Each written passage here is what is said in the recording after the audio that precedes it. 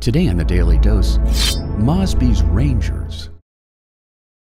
Initially, John Singleton Mosby was opposed to the South's secession from the United States, but a sense of Southern homeland persuaded him to enlist in the Confederate Army as a private serving under William Grumble Jones. After serving with the Washington Mounted Rifles and later the Virginia Volunteers, General Jeb Stuart took notice of Mosby's aptitude for intelligence gathering. He promoted Mosby to first lieutenant and assigned him to the general's cavalry scouts. And in June of 1863, under the authority of General Robert E. Lee and the Partisan Ranger Act as enacted by the Confederate Congress, John Mosby formed and took command of the 43rd Battalion. Mosby's sole tactic involved executing small raiding parties of up to 150 men behind Union lines, relying heavily on stealth to enter target areas undetected, executing attacks on Union positions before scattering into the surrounding woods and dispersing the troops among local Southern sympathizers, literally and figuratively melting into the countryside.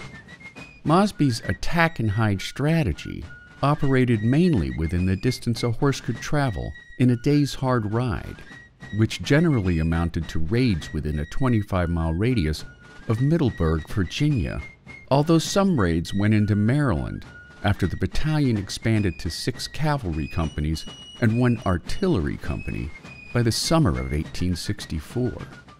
Mosby believed and repeatedly proved that, in his own words, a small force moving with celerity and threatening many points on a line can neutralize a hundred times its own number. The Rangers' fast attack hit and run tactics were largely carried out with two pistols for each raider, since carbines proved to be unsuited for fighting on horseback.